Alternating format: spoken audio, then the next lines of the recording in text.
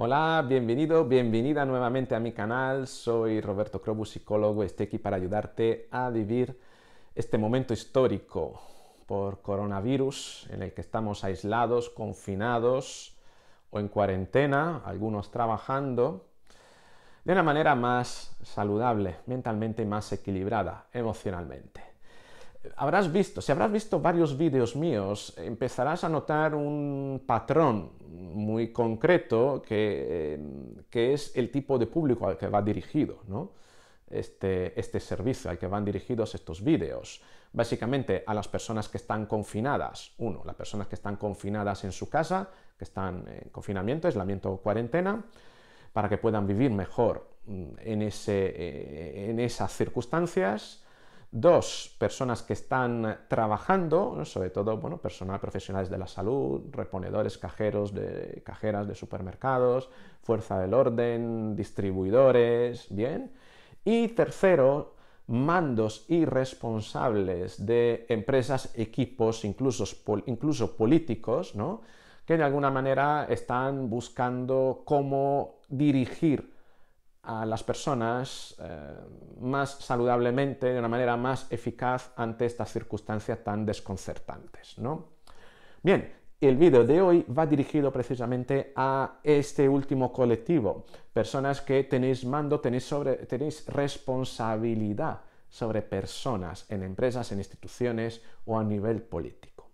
Bien, y te quiero hablar eh, precisamente de la diferencia del liderazgo entre una situación de bonanza, por así decirlo, de prosperidad, y una situación de crisis, de emergencia como esta, en cómo hay que adaptar ese liderazgo a una situación que ha cambiado. De repente ha sido un corte abrupto de, un, prácticamente de una semana a otra y que obliga, nos obliga a reajustar nuestro rol. Bien, ¿Qué es lo que esperan las personas de los líderes en una situación de bonanza y qué es lo que esperan las personas de líderes en situación de crisis y de emergencia? Bien, de esto te voy a hablar hoy mismo en este vídeo. Y vamos a ello.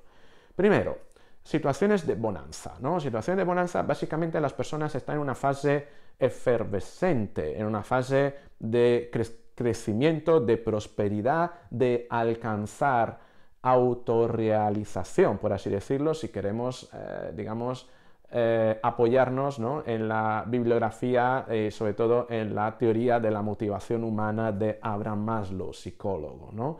En la cúspide de esa pirámide, estamos, normalmente nos encontramos en esa cúspide cuando estamos afrontando situaciones de bonanza, situaciones agradables, de crecimiento, de prosperidad. Y ahí lo que queremos es autorrealizarnos, ¿no? Y claro, eh, ¿qué significa autorrealizarse? Básicamente, pues alcanzar objetivos humanos, vitales, ¿no? Em, y, bueno, estos objetivos básicamente suman, ¿no?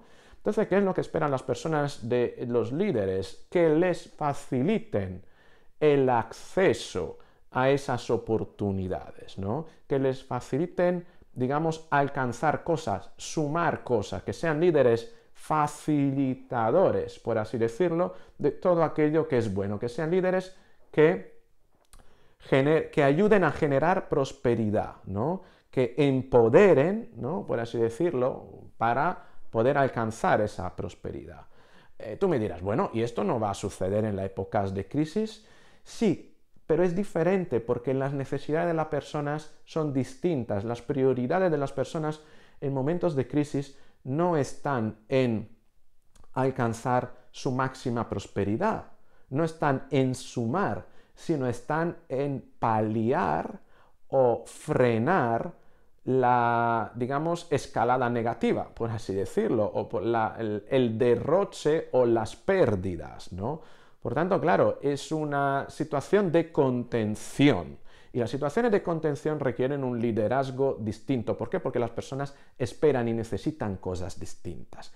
¿Qué es lo que necesitan las personas cuando están en crisis? Necesitan seguridad, necesitan confianza, necesitan saber que en algún momento eso puede eh, frenarse, se parará y se reinvertirá, digamos, el flujo de las cosas, ¿no? Se cambiará, por así decirlo, el, eh, cambiarán los acontecimientos, ¿no? Se le dará la vuelta a la tortilla, como se suele decir.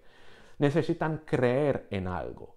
Por tanto, fíjate la diferencia. La persona en época de bonanza necesitan sumar, necesitan alcanzar, crear, desarrollar cosas, y las personas en épocas de crisis necesitan confianza y necesitan algo en que creer. Por tanto, claro, pasamos de un líder que en época de bonanza puede ser un líder carismático porque em, permite a las personas, facilita a las personas ese camino, pero en época de crisis ese camino no está.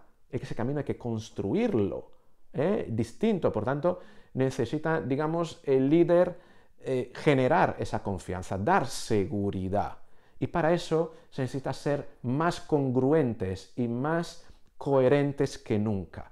Y es ahí que estamos notando esa dificultad, estamos notando esa, em, lo que se llama, muchos llaman falta de liderazgo. ¿Por qué? Porque, eh, claro, las personas, los grandes líderes ahora tienen que cambiar un rol por el que no, no han sido elegidos, ¿no?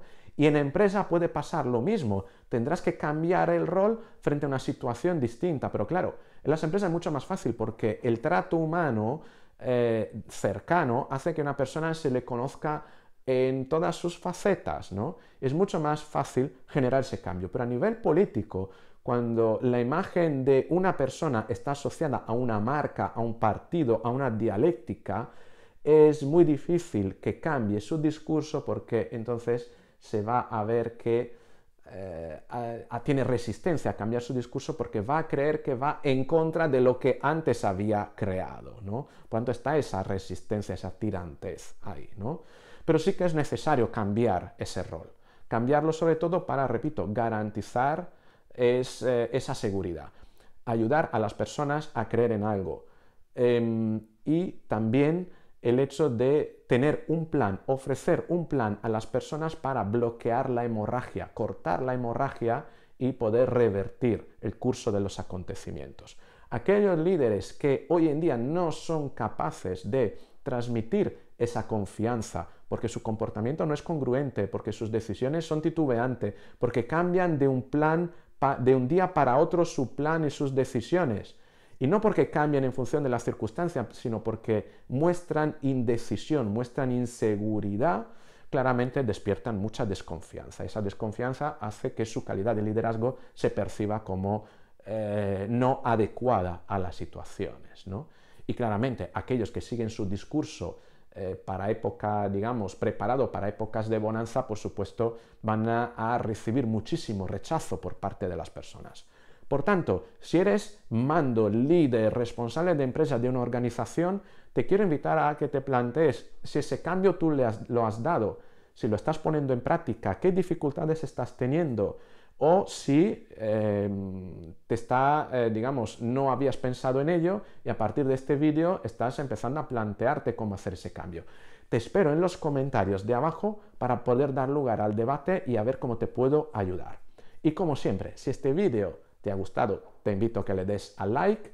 Si crees que puede ayudar a alguien, que lo compartas. Si no te has suscrito suscrita, pues te invito a que lo hagas porque van a salir más vídeos sobre liderazgo en los próximos porque ya he dedicado, voy a dedicar una parte importante precisamente a cómo ayudar a las personas a dirigir a otras personas en este mismo momento de dificultad, de crisis. Bien, con esto es todo.